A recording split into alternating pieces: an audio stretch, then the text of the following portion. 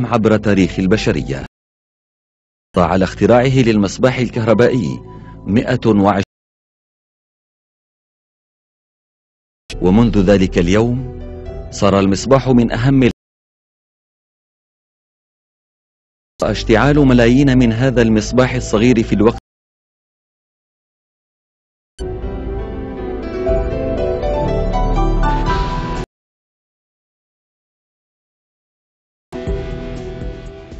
صار الضوء واحدا من أهم الرموز الحضارية.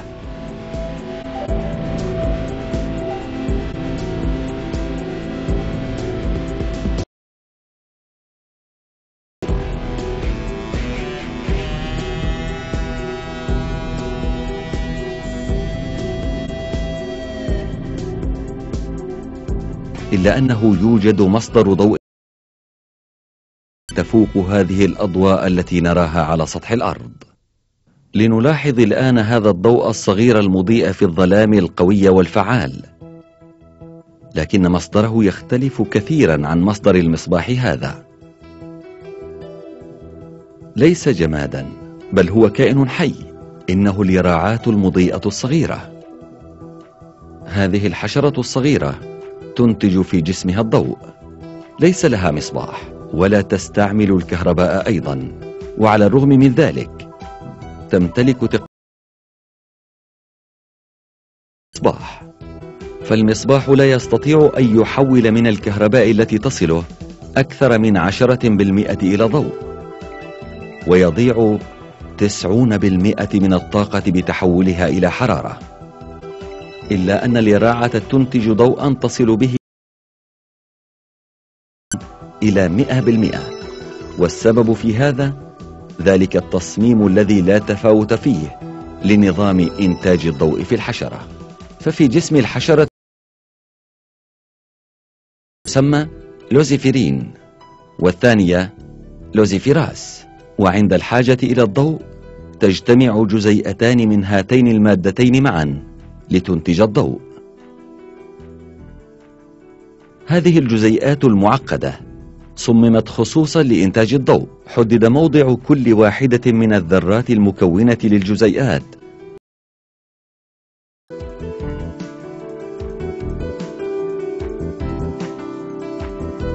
هذا التصميم الكيميائي الحيوي.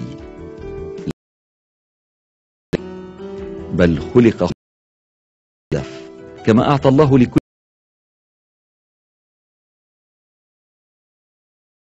إلى إنتاج الضوء.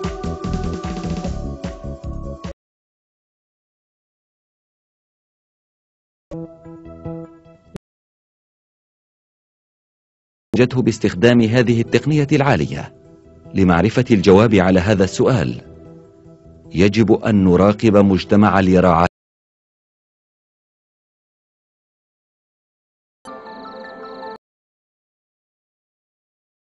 هذه المشاهد تشعر الإنسان كأنه يسير تحت النجوم.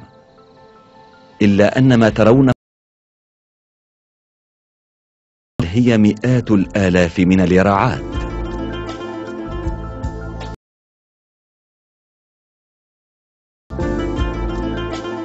لهذه الأضواء معنى هام جدا لدى اليراعات. الاتصال اتبع الناس عبر التاريخ أساليب مختلفة لتأمين الاتصال. أحد وسائل هذا الاتصال إشارات تتألف من إشارات في البرقية تؤمن الإراعات الاتصال باستخدام إشاراتها الضوئية طبقا لإشارات المار.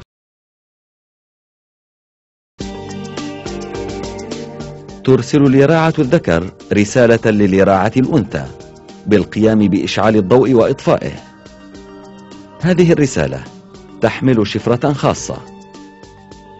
تجيب الأنثى الذكر باستخدام الشفرة نفسها.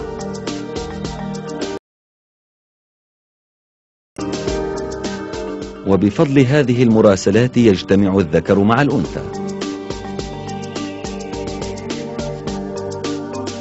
تعرف كل يراعة منذ ولادتها إرسال الرسائل بهذا الأسلوب. وتفهم أيضا على هذه الرسائل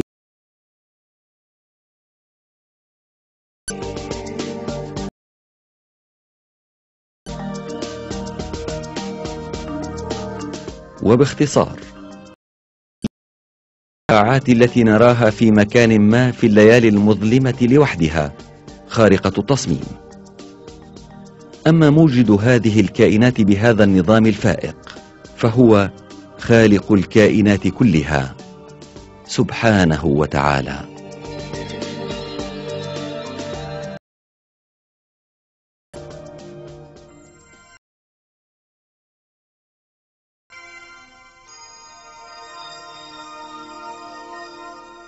في بعض ليالي الجزيرة تبرز أضواء بعد فترة من غروب الشمس.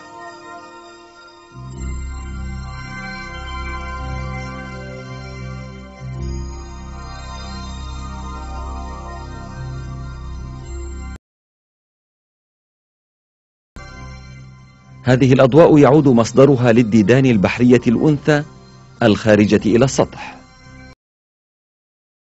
الكيميائيين اللذين أنت وهذا الكائن يعرف أيضا وفي النهاية.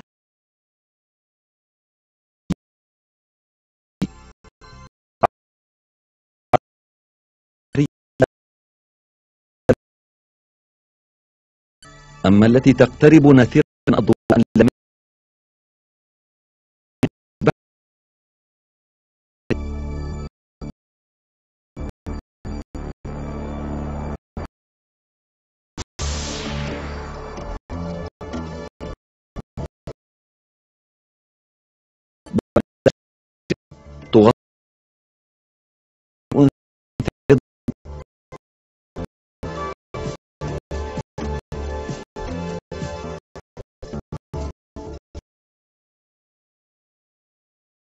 وأضاء المنزل الأنثى إلى أعماق المياه مرة أخرى.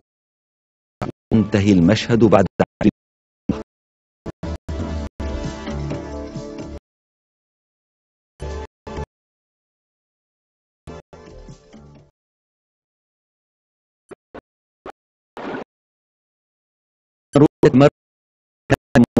بالضوء الذي تنتجه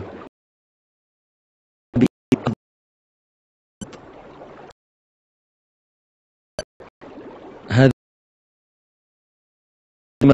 للنزول إلى عمق مئة أمتار حيث لا ضوء الشمس بعد ومكان. فأكثر بعشرين ضعفا. ربما تظنون أن أي كائن لا يستطيع الضوء. وعلى الرغم يبرز منظر مدهش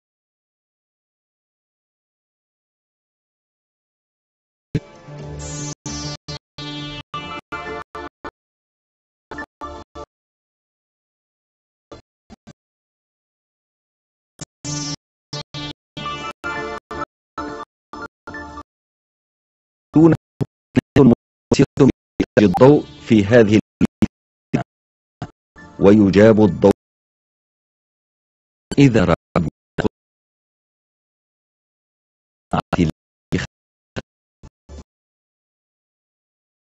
الضوء الأحمر واحد من أنواع هنا نوع زينة الضوء إليه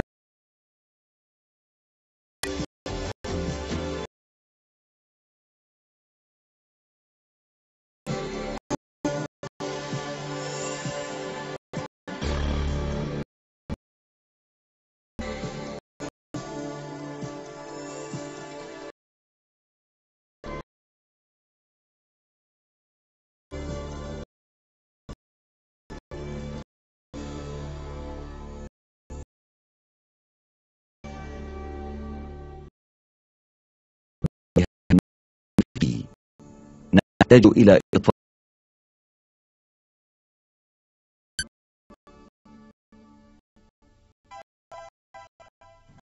هنا نوع الضوء ينتجه.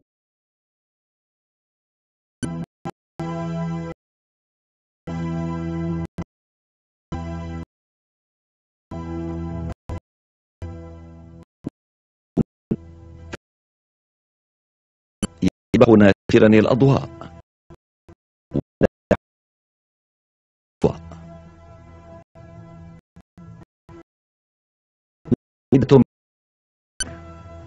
أجدم هؤلاء لا تملك أي منها عبدا ولا معها ولا تعرف أي بعثت الأضواء من أجسامها أما نار ذوات هذه الأنظار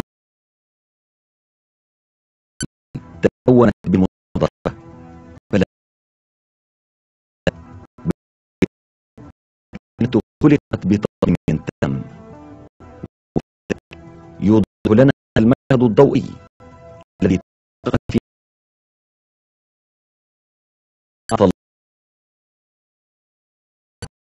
فالله تعالى العلي القدير. كل والبحر الذي ليس كمثله شيء. العلم يقول هو المصور يسبح له من السماوات والأرض.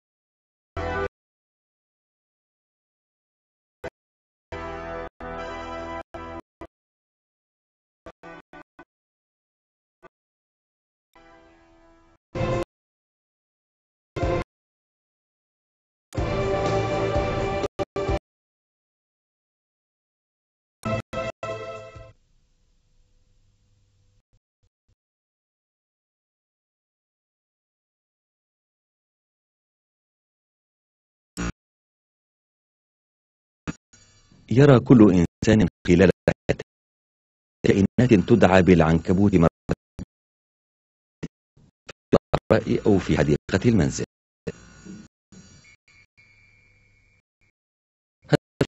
الذي يشد انتباه هو في الأرض. الله تعالى. ولمعرفة علينا أن نراقب العنكبوت. عندما يقال عنكبوت أول ما يخطر بالبال شبكة. وبالتأكيد هذه شبكة لشبكة العنكبوت مخطط معماري ممكن هندسية مناسبة لهذا المخطط لو كبرنا العنكبوت فشبكة العنكبوت التي نسجتها تعادل 130 تقريبا. وهذا يمثل علو ذات لو تمكن العنكبوت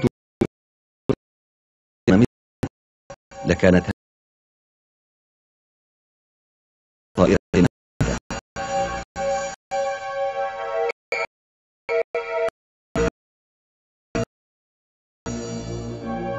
إذن.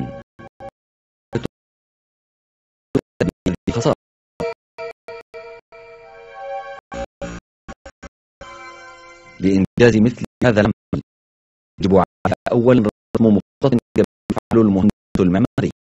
ذلك لأن بناء بهذا التصميم وبهذا الحجم والمكان يبنى دون مخطط هندسي. بعد رسم المخطط يلزم كمهندس معماري تتحمل الثقل الآتي وبدون أن تقوم لشبكة غائب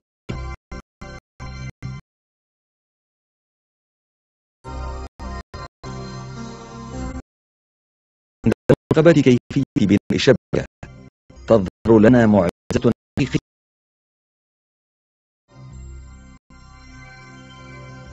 تترك العنكبوت في الهواء. وبمساعدة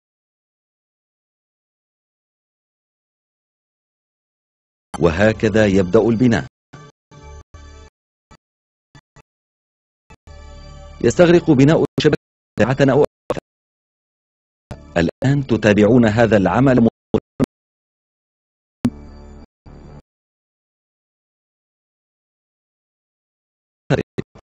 وتجهز تسج خطة راسمة من الخارج باتجاه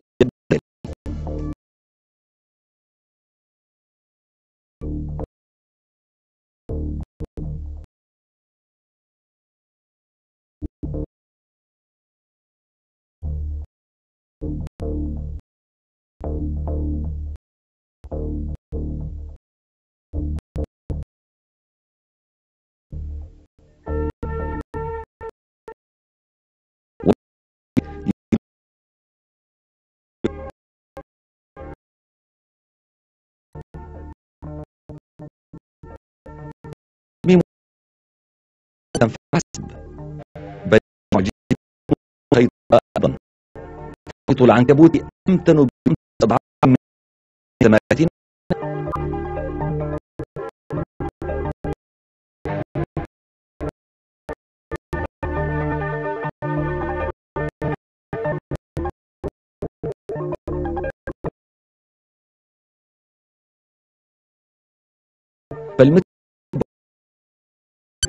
يتحمل 150 ألف كيلو. عنكبوت نصف قطره 30 مترا.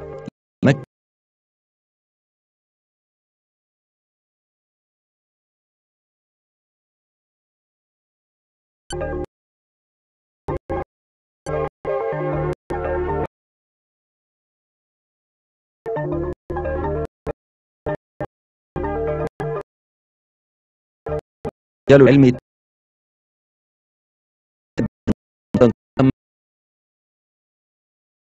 إنتاج الدروع الفولاذية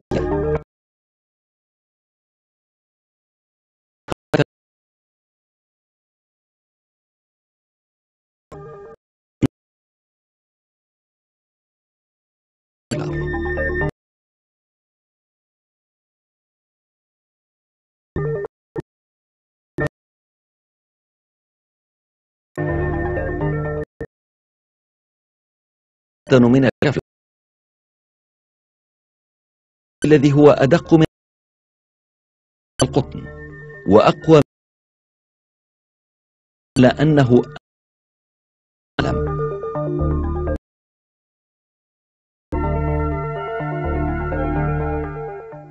الفولاذ أمتن المواد التي يمتلكها الإنسان.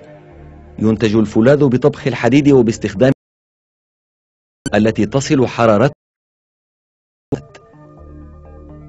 في مصانع الصناعات الثقيلة خصوصا لتحمل يستخدم كبيرة جسور.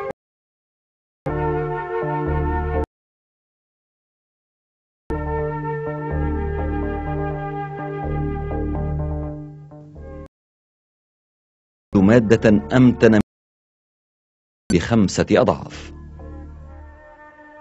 مع أنها ليس لها نصيب في استخدام أفرانا ذات حرارة عالية. لا تملك حتى قابلية التعقل. إنتاج خيط أمتن من الفولاذ من قبل حشرة صغيرة. ثم استخدامها كالمهندس المعماري في معجزة كبيرة. يعرف الناس عامة أن العنكبوت كائنات تصطاد بنصب الشباك إلا أن هذه العنكبوت التي تسمى دينوبيس لا تنتظر علوق صيدها في الشباك وبدلا من ذلك تقيم فخا متحركا تجهز خيوطا خاصة جدا بمئتي ضربة فرشاة في الدقيقة. ثم تضم الخيوط الدقيقة لبعضها ضمن خطة محكمة. وبذلك يصبح الفخ القاتل جاهزاً.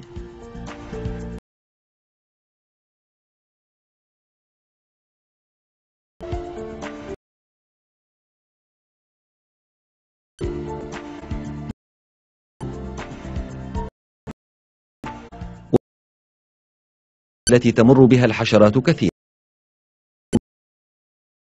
حتى أكثر الخطوات دقة.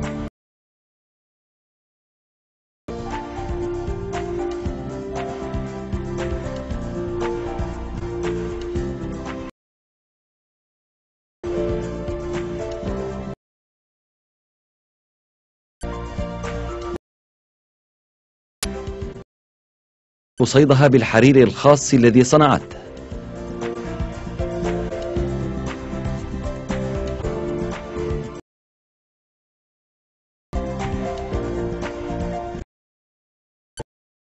ويمكنها أن تصطاد أكثر من فريسة في الليلة الواحدة. خاصة بها. ميم الحقيقية. للخلاص من هذا الفخ.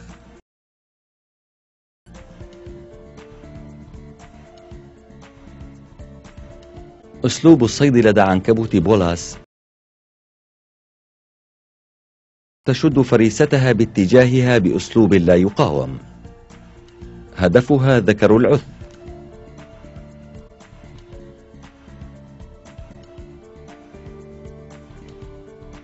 تنتج العنكبوت أيضا من جسمها وعلى هذا الخيط قطرات لاصقة قوية.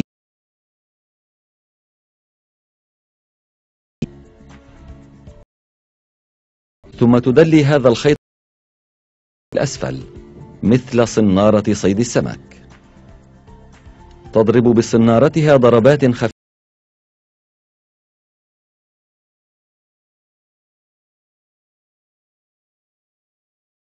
لشد الفريسة إليها.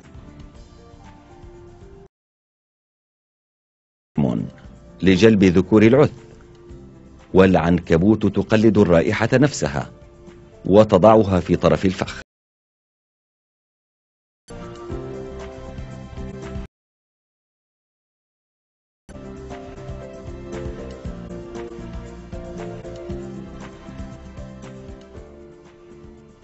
ذكر العث لا يقاوم هذه الدعوة المغرية.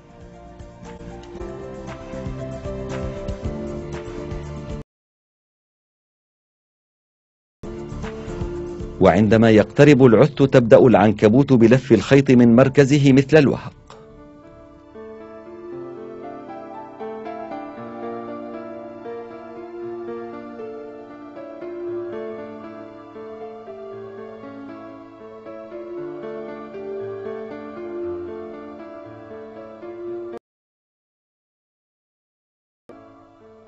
فالخطة المعجزة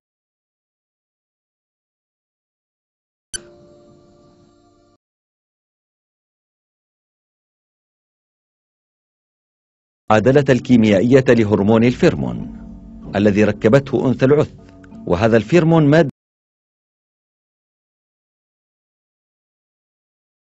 لو أردنا إنتاج مثل هذه المادة الكيميائية للازمنا القيام بأعمال معقدة مطور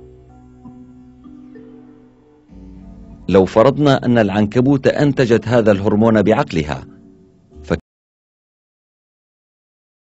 أن تتابع الطريق نفسه.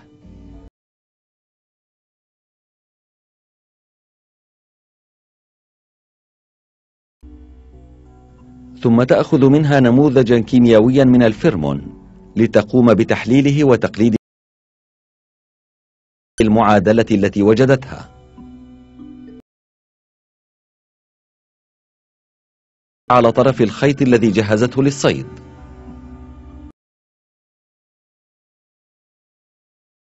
هذه العنكبوت الصغيرة. لي ولم تحصل على أي تعليم. ول...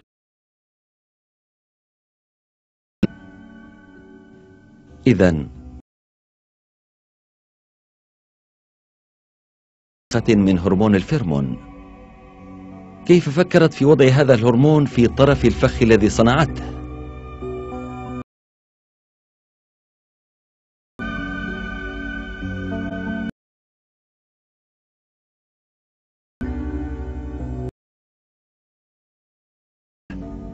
تأخذنا إلى حقيقة. فمادة الفيرمون الكيميائي وتستخدمها العنكبوت للاصطياد تظهر لنا مرة أخرى ب...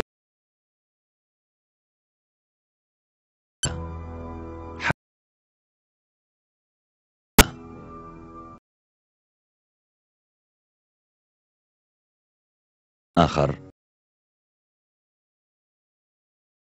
هي عنكبوت الباب المفخخ. هذه العنكبوت لا تهاجم كالعناكب الأخرى من الجو بل تحصل على صيدها من تحت التراب. أولا تقوم تحت التراب. ثم تصنع بابا دائريا في مدخل العش باستخدام خيطها مع التراب. تثبت نقطة من طرف هذا الباب بمفصلة. تنشر الخيوط الدقيقة المشدودة من داخل العش إلى الخارج.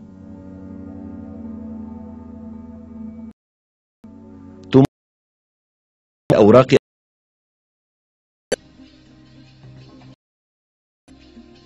بفضل هذا النظام تستطيع جوانب العش أخ وجهة أي للعش. عندئذ جاهزا.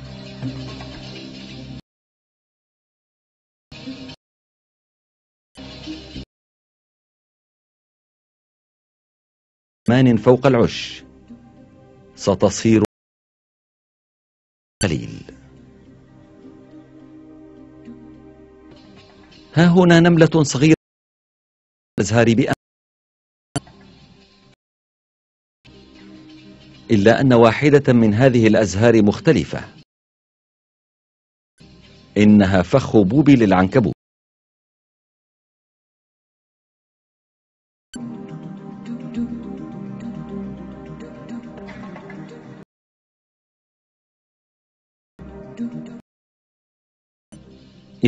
فنصبت الفخ وال ثم مبكر هذا الفخ.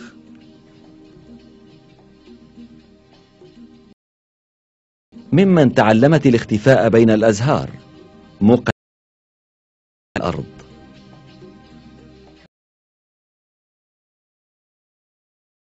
والجانب الأرض معرفة مولودة.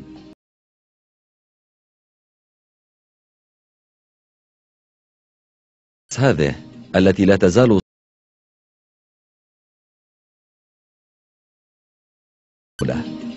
أما فخ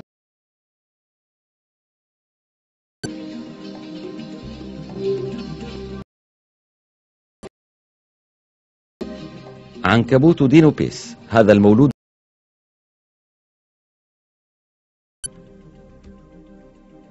هذا العنكبوت الصغير مهندس منذ ولادته.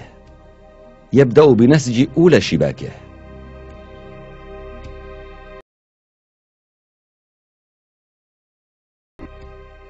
وجود عناكب صغيرة بكثرة في ساحة ضيقة يمكن أن يسبب بعض المشاكل الخفيفة.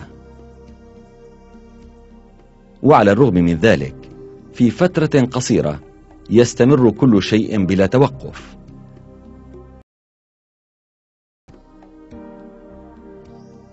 هذه العناكب ستفترق عن أمهاتها لصنع أعشاشها بعد مدة وجيزة. بلا شك يوضح أن نسج الشبكة كان بإلهام. بلا شك فالذي ألهم الخارقة الله تعالى.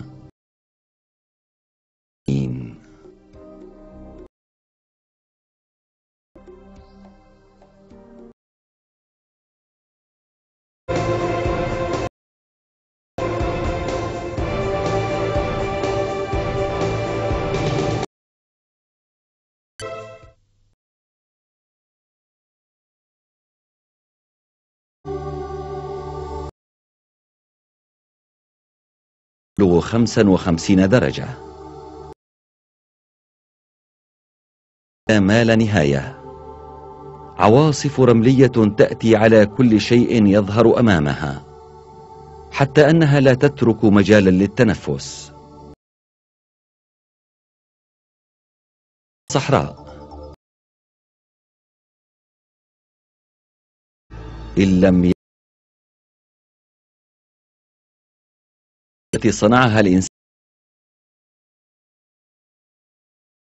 بالكاد رأي هذه.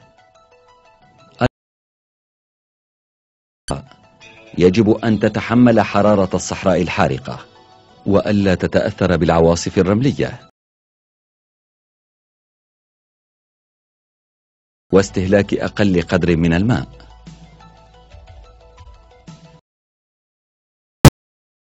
شروط فليست كائن حي.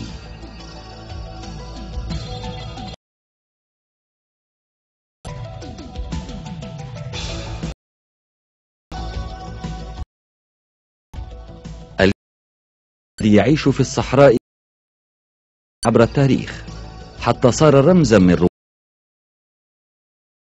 الحارقة مميتة لباقي الحيوانات.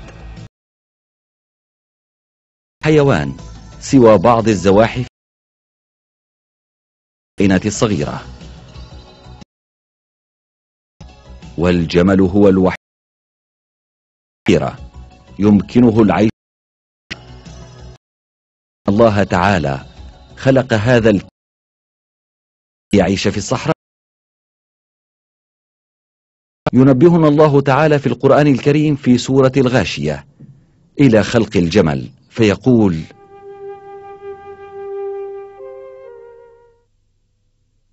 أفلا ينظرون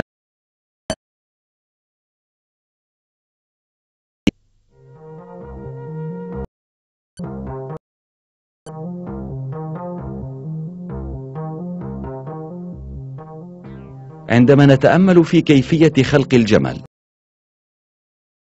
قيل في هذا الكائن. له معجزة خلقية على حدة فأهم حاجة في حرارة الصحراء الحارقة شرب الماء. إلا أن إيجاد الماء في الصحراء صعب جدا كما أن إيجاد الطعام كالمستحيل إذا يلزم في الصحراء أن يتصف بتحمل كبير للجوع والعطش. وكذلك خلق الجمل مع قدرة على تحمل إلى أقصى حد. يتحمل الجمل العيش ثمانية دون طعام ولا شراب في حرارة خمس.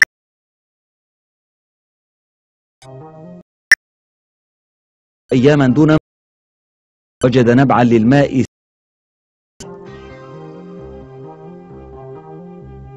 تشرب الجمال خلال عشر دقائق ماء يعاد حتى أنها أحيانا تشرب في شربة واحدة. ولتحمل جسم الجمل ادخار القوت. المخزن هو السنام الذي في يقارب أربعين كيلوغراما. وبفضل هذا المخزن يقطع الجمل المسافات أياما دون طعام.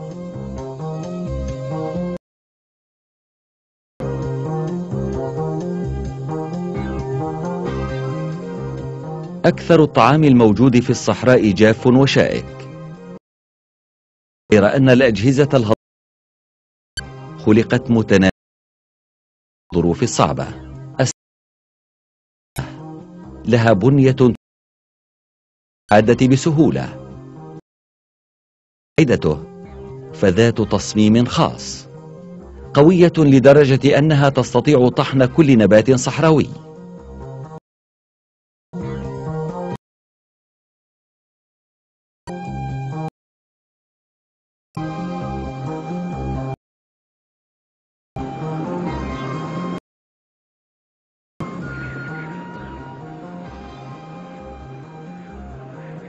تهب رياح الصحراء فجأة تتبعها غالبا عواصف رملية. حبيبات الرمل الحادة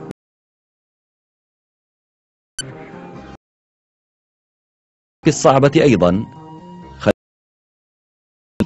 أنظمة حماية خاصة. جفون العين لدى الجمل شفاف. الرمل ومن الغبار أيضا. ومع ذلك تؤمن له رؤية الضوء ولو كانت العين مغمضة.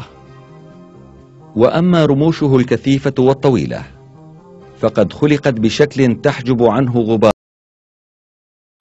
في أنف الجمل أيضا ثمة تصميم خاص فبإمكان الجمل إغلاق منخريه بأغطية خاصة لحظة بدء العواصف الرملية.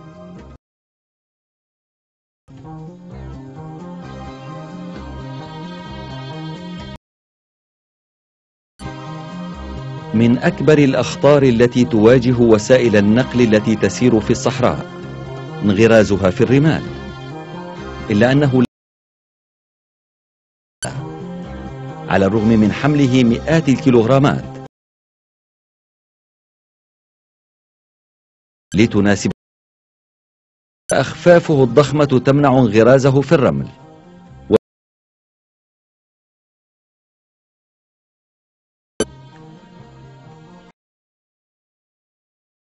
طويلة تحمي جسمه بعيدا عن الحرارة الحارقة للأرض.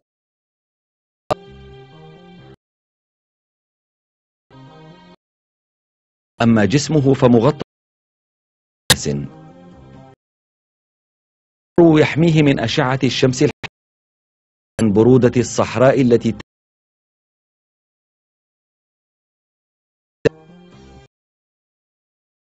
من جسم الجمل. طبقات جلدية ثخينة وحامية.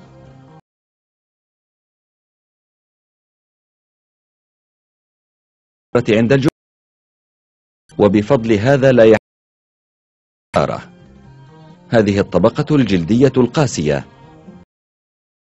الزمن.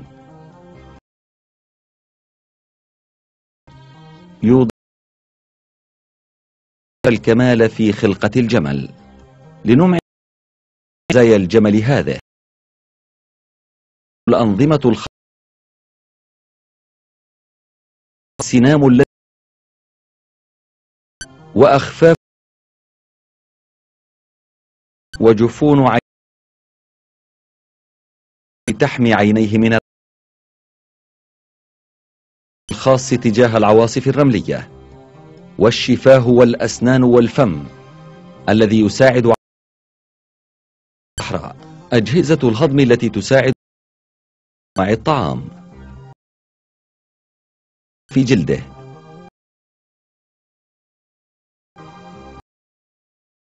مصمم لحماية وجميع خصائصه الأخرى كذلك. لا تدعم بشكل من الأشكال منطق المصادفة العمياء لنظرية التطور بل توضح حقيقة أن هذا الكائن ليعيش إنسان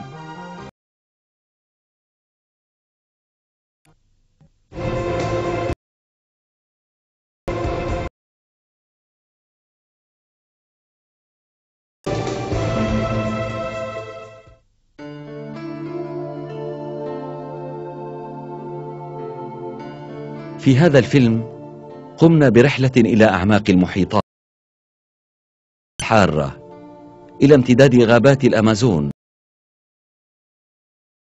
الكائنات التي بحثنا فيها. هذه الرحلة مهمة جدا. قدرة الله تعالى في كل زوايا الأرض. الله تعالى الذي